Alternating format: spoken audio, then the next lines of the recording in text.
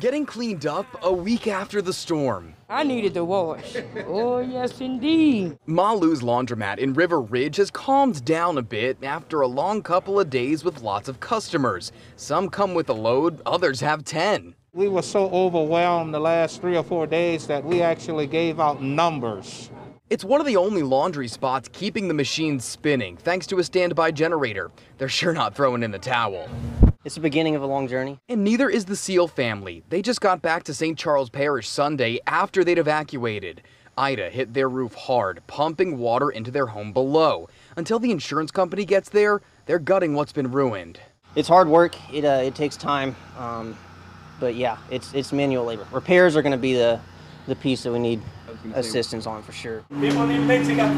It's the first day back in business at the nearby El Paso Mexican restaurant. They're doing takeout only for now, on a limited menu. Several employees haven't returned to town yet. Honestly, I just feel grateful, and most of our, you know, workers that are here right now feel very grateful. Courtney Carter is grateful too. She's waiting outside the Beijing Chinese restaurant next door, where owners spent the latter half of the weekend handing out free meals. being eight and a half months pregnant, you know, in this heat and all, I can't go and stand on my feet all day and cook. So it's just a blessing for them to be here.